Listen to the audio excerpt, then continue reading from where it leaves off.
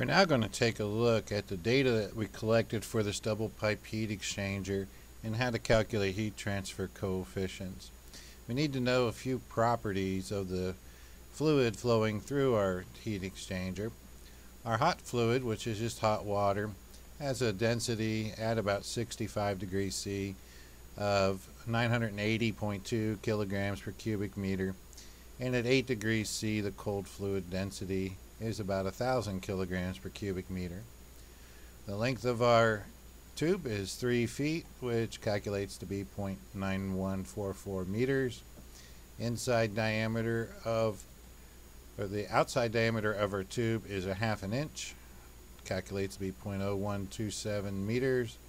Inside diameter is 0.4 inches, and we calculate that in meters. And our shell inside diameter is 1 inch, which is 0.0254 meters. We can calculate the outside surface area of our tube using the outside diameter of the tube and multiplying it by the outside diameter times pi times the length and gives us the result there.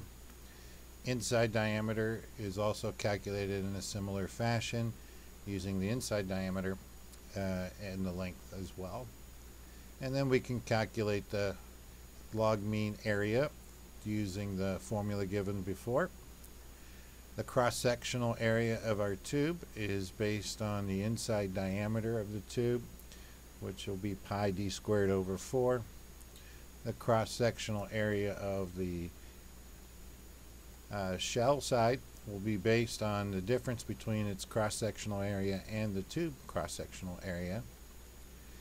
The effective diameter of the tube is just equal to the diameter of the tube, whereas for the effective diameter of the shell is the difference between the inside diameter of the shell minus the outside diameter of the tube.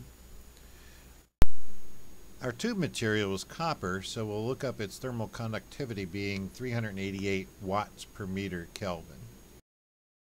And the term regarding the resistance to heat transfer for the material using the formula given before gives us this value. In our experiment, we varied the cold water flow from 1 to 5 gallons per minute and also varied the hot water flow between 0.5 and 1.5 gallons per minute. We collected data from the inlet of the tube was 65 degrees C.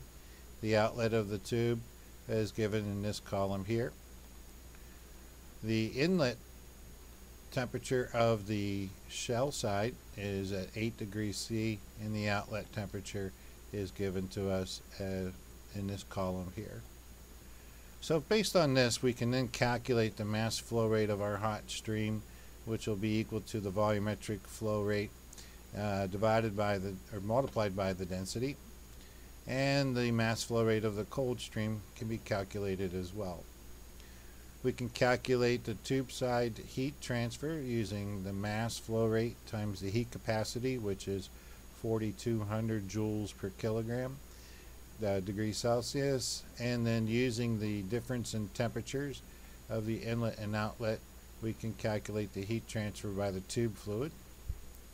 We can also calculate the heat transfer to the shell fluid using a similar formula as well. And note that the, the two are different somewhat and we'll have to address this later.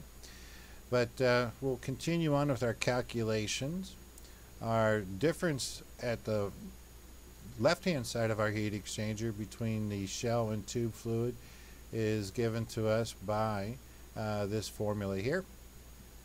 And at the uh, right hand side of our heat exchanger delta T2 is given to us by this formula. And you might want to note that this is a counter current heat exchanger. Our delta T log mean driving force is given by the formula using delta T1 and delta T2 and knowing the surface area for heat transfer and the heat transfer rate and the delta T log mean, we can calculate a heat transfer coefficient. And this is going to be based on the outside surface area of the tube. And in this first column, we calculated it using the heat transfer from the shell fluid and for the first case we get 242 watts per meter squared Kelvin whereas if we based it on the heat transfer rate of the tube fluid it is slightly different at 237 so we're within about 2% to 3% error based on the tube or the shell fluid and this could be because we use a constant heat capacity uh, for the fluids being the same at 8 degrees Celsius and also at 65. We can calculate the velocity in the tube based on the tube cross-sectional area and the density of the fluid. And the velocity in the shell can be calculated as well. And our average temperature of our tube fluid is equal to the inlet plus the outlet divided by 2 and the outlet of the shell fluid is calculated in a similar fashion. We can then calculate film heat transfer coefficients using the formula given where we use the velocity of the uh, shell fluid divided by the effective diameter raised to the respective powers plus also the empirical formula that relates the temperature uh, and the other parameters of that shell fluid. And we get a film heat transfer coefficient of 919 and we get a heat transfer coefficient for the film in the tube side using a similar exp uh, expression. So now we're able to calculate the inverse of the heat transfer coefficient 1 over mu 0 by taking the reciprocal of the film heat transfer coefficients of the inside and outside and also the term that was calculated based on the thermal conductivity of the metal and we calculate the inverse of the heat transfer coefficient and then finally by inverting it determine what our model heat transfer coefficient is expected to be. Let's take a look at comparing the model values given in this column versus the experimental values and I'll use the one calculated based on the heat transfer rate from the shell fluid and take a look at the plot here and so on the x-axis I have our measured heat transfer coefficient.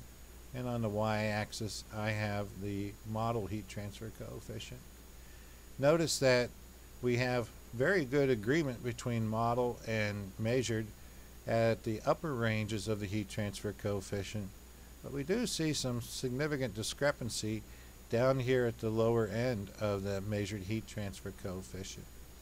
A reason why could be because the model that we used is most likely based on turbulent flow conditions and if we look at our velocities of our tube side we find that I'm sorry of our shell side we find that we got some low values down in this region here and so perhaps we're not under turbulent conditions, but as soon as we get to a half a meter per second and higher, that's where we get our good agreement. So that might be an explanation as to why the model and the experimental have some disagreement, particularly in this low region. But we can be quite confident that the model is very accurate at this region out here.